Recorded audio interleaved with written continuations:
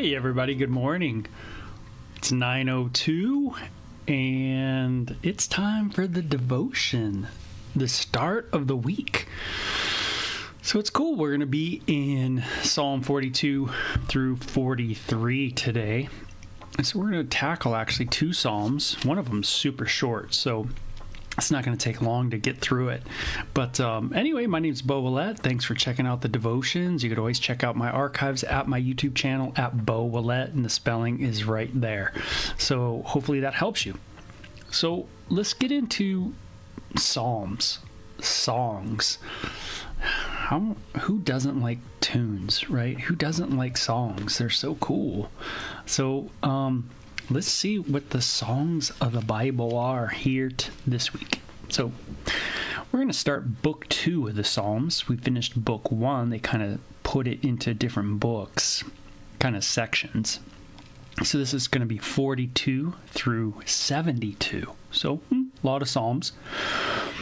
And it says this is the choir director, a psalm of the descendants of Korah.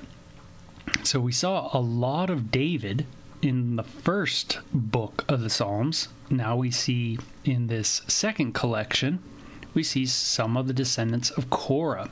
You can look up Korah, and we went over some of Korah's descendants in our study of the law and the people of Israel and all those cool descendants and the Levites and stuff like that.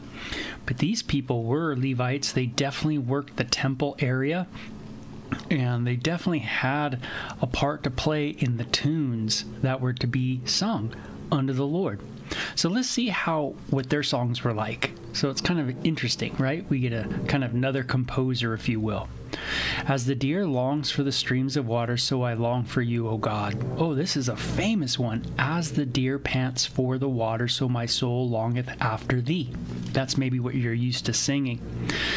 When I go through the Devo, a lot of times I'll use the New Living Translation. It kind of opens it up a little bit, you know, as the deer longs for streams of water, so I long for you, O God. You know, the idea of longing for God, mm, man, that's something. Do I long for God? Do I have that kind of heart for God where I long for God? I want God. God, I want you. You know, that kind of passionate desire for God. Just as the deer pants for the water, right? Or longs for the streams of water. So my soul really longs for God. Mm. It says, I thirst for God, the living God. Where, when can I go and stand before him? Mm, I thirst for God. I long for God. I want to drink of the streams of the Lord. You know, this kind of idea is just the idea of the betterment of God, the partaking of God. I love it. And it says, When can I go and stand before him? It's a question. Day and night I have only tears for food, while my enemies continually taunt me, saying, Where is this God of yours? Gosh, what a sad response to the as the deer pants for the water, so my soul longeth after thee. You don't really hear this next line too much sung in the congregation of the churches, right? Where it says, Day and night I have only tears for food.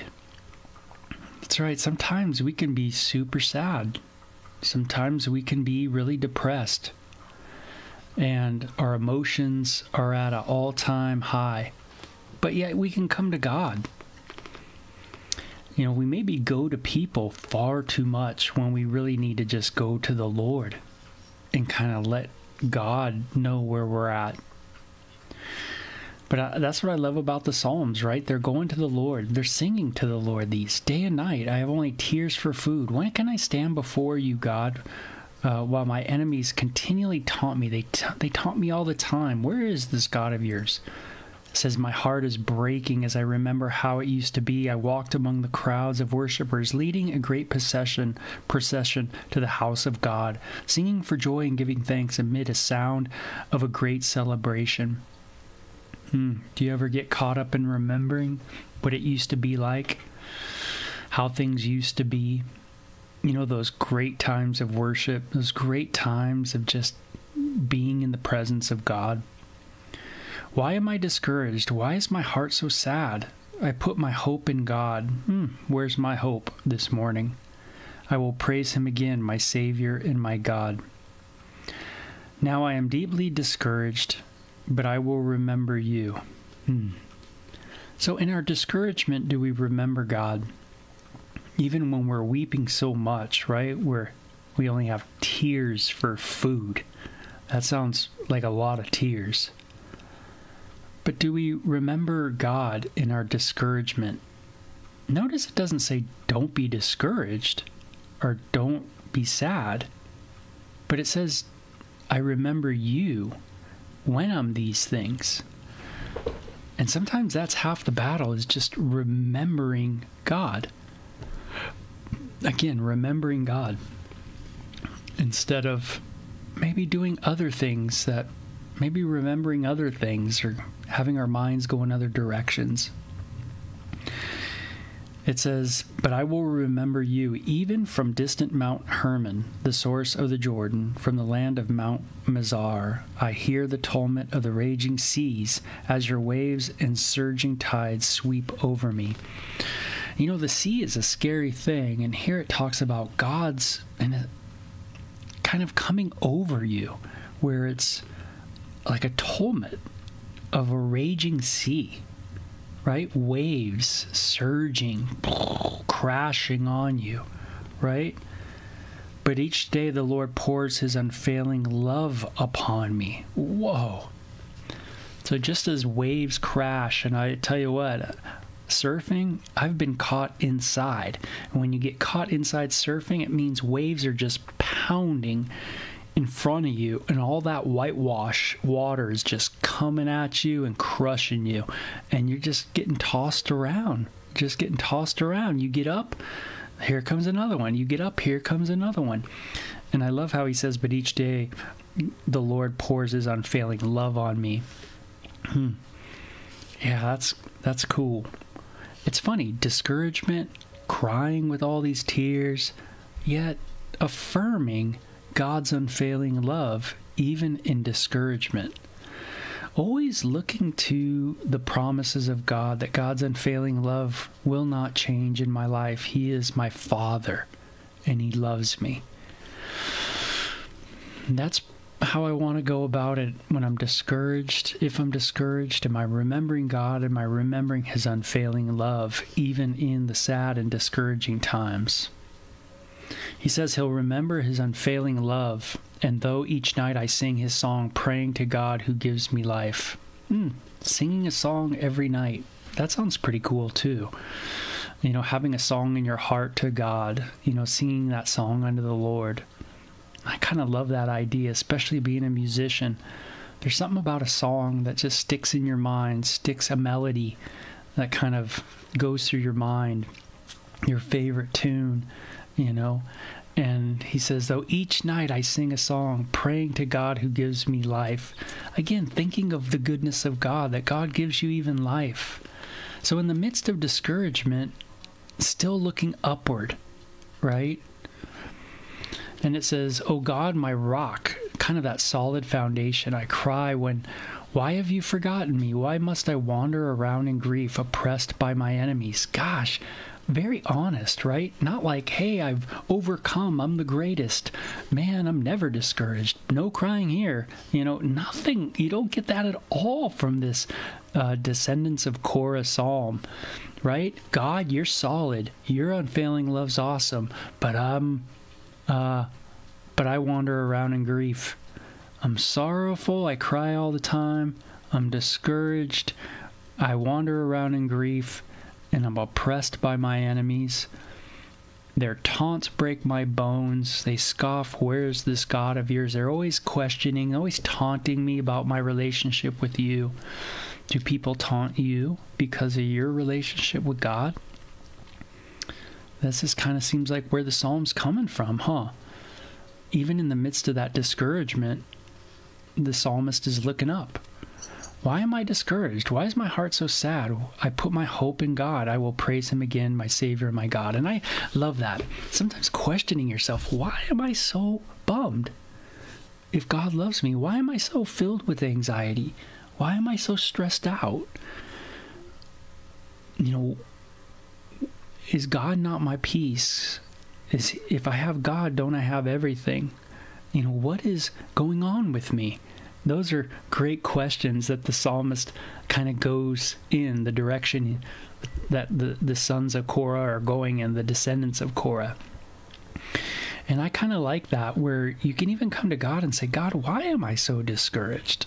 You know, you can ask those questions. Why am I so filled with stress and anxiety? Why not? Why am I so bummed out when I have you on my side? Um, if you are for me, who can be against me? Why am I? Why do I fear humans? Why do I uh, act in fear? Why am I resentful and bitter?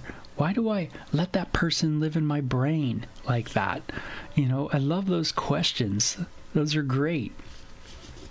You know, why am I discouraged? Why do I have greed like I do? Why do I envy and strife and lustful inclinations? Why are those things in me? What is going on within me? Lord, help me to trust in you. Mm, love that psalm. Love that kind of heart, man. That's such a real one. Such a good one, too. Get all that stuff out of you, right? Why am I so discouraged, God? What's going down, right? It's cool. Now, 43 says, Declare me innocent, O God. Defend me against these ungodly people. You know, that's the kind of vindicate me. You know, clear my name. Man, all these people are mocking me, making fun of me, you know, but clear my name, right? Defend me. Be my lawyer. It's interesting. The New Testament says Jesus is our lawyer, right? He's our advocate. Well, this is the cry to God, to Yahweh. Yahweh, be our lawyer. New Testament, Jesus is the lawyer. Interesting. There's so many ways that Jesus, his character, uh, the way he is treated, the way uh, he functions, is God in human flesh. That's why Jesus uh, we say Jesus is God in human flesh is because look at all the attributes that he claims for himself. Right? He is the lawyer. He is the intercessor. He is the one who is the savior, right? Even though these talk about God being the savior. God's the savior. Yahweh's the savior, you know? Jesus is the savior. He is the one that we go to. He's the mediator. He's the one who's the lawyer. He's going to defend us. He's going to vindicate us. He's going to declare declare us not guilty in front of everybody, in front of all of the heavenly host. Whoa, it's crazy, right? Make a public declaration saying you're innocent. You're you, even though man, you know you're a sinner, but yet he's going to vindicate you. Wow. For you are God, my only safe haven. Why have you tossed me aside? Why must I wander around in grief, oppressed by my enemies? The idea that the psalmist has again is that, man, he feels so tossed to and fro, kind of like we saw in the last psalm of that wave, kind of being tossed all over. Where's God? Why isn't God doing something? You know, a very honest heart before the Lord. And again, questioning why must I wander in grief? Why are my enemies still trying to come after me, oppress me? You know, you know, gosh, what is the deal? Send out your light and your truth. Let them guide me. Mm, light and truth. Those things kind of go hand in hand in the Bible. Light, something that illuminates, truth, something that illuminates, right? Uh, truth from air, light from darkness. It says for us to walk in the light as He is in the light, hmm, to step out into the light. You know, and the Psalms are definitely that. They're coming into the light, right? You're coming in, you're bringing everything into the light. Lord, look at my mess. Look at this. Look at that. I'm here. I'm crying all the time. I'm discouraged. I'm bummed. I'm so messed up. Like, why? Where are you? Where are you, God? You know what? I don't, I mean, talk about coming into the light. I mean, you are really all over the place with God. You're bringing out everything. Nothing's hidden, everything is just out. You know, and this is your tune. This is your song that you're playing. Send out your light and your truth. Let them guide me. Let them lead me to your holy mountain, to the place where you live. Then I will go to the altar of God, to, uh, to God, the source of all my joy. Does God live in a mountain? Is that what it's saying? God lives in a mountain. Chapter 40, 43. On his holy mountain where he lives? Is that what he's saying? God said, hey, wait, let's go to that mountain. Now, in our study of the Bible, just walking through it, our devotions, What holy mountain seems kind of holy? Well, it's probably the place where, you know, Jerusalem's at, the place where the temple is going to be built, the place where they would go and worship God. So maybe that's what it's referring to, right? Not so much where God lives in that little house over there on that mountain, right? There I will go to the altar of God. Okay, so we get the clear understanding this is this is definitely a place of worship the source of all my joy, and I will praise you with my harp. I'll praise you with my instruments. I'm going to get out my guitar, get it out of the case, get it warmed up. I'm going to praise you. Where? On that mountain, on that place, that place where the temple is. Uh, and and it's going to be awesome. There at the altar, the place of sacrifice, right? That altar, the altar of incense too, the altar of prayer, you know, bring my prayers to God, right? And my bringing things before the, that altar, that special place of communion with God, you know, that kind of idea. I love that. Intimacy with God, prayer, word, focused on God, very devoted, you know, in a heart towards God, wanting to draw close, wanting to get near um, that kind of idea. Why am I discouraged? Why is my heart so sad? I will put my hope in God. I will praise him again, my Savior, my God. So it ends very much like Psalm 42. So 42 and 43 are great ones, right? They kind of roll right together. Where are you at? Why am I discouraged? And you are my Savior and my God. And again, we look to that New Testament and we see that Jesus has come to be our Savior. He says, I am the Savior. He is the promised Messiah that we've been waiting for, this son that we've been waiting for from the line of Judah. Uh, we've been seeing that throughout the Bible. And we know there's a promise to David that one from his descendants will always sit on the throne, kind of the ruler, uh, a forever ruler. We've already seen that in our time of devotion. And so Jesus is our ultimate fulfillment. We still get discouraged. We still feel like, where's God? We still see but instead of looking into space and going god where are you? we can look back in time in history and know for certain that god has revealed himself and his he has drawn close to us in the person of jesus christ. So you don't have to we know we're not alone. I might feel alone. I might feel discouraged. I might feel fear. But i can look back and go you know what god has met me right where I needed to be meet, met. He's come to this world. He's, in a sense, penetrated this world and entered into it and did something for me. One of the things he did for me is make me know that he's real, that there is a God, and that I don't have to doubt that anymore, like I did so much growing up. Oh, I don't believe in God. I look outside, there's no God. This is what Jesus came to do is reveal the Father, make known the Father, that there is truth, uh, and that we've been a visited planet. And so, even though we grow, we can get discouraged, we can always look back on history and be pretty stoked. So, very cool psalms. I think they're very real. I really like these uh, Descendants of Korah psalms. Um, I find that great that you speak to your own heart, so to speak. Why am I discouraged? Why am I bummed out? Lord, why when I have you and you are my hope? You know, you're my strength, you're my rock, you're my solid foundation. Lord, maybe the remedy is to get out the guitar and do a little worship and just start getting my mind focused back on you. That kind of idea. So very cool. Love that kind of devotion to the Lord. So man, very cool stuff. So Paula, thanks for checking out the Devo. Casey, thanks for checking out the devotion as well. And uh, hopefully we'll catch you guys Tuesday. And uh, you know, I'm glad I was on time today. I got up early, went to Mount Lemmon and uh, with a buddy, and had a great time up there. Did some prayer thought of the Lord. Man, that was special. And um, yeah, so beautiful mornings. Enjoy them. We'll talk to you guys later. Bye bye.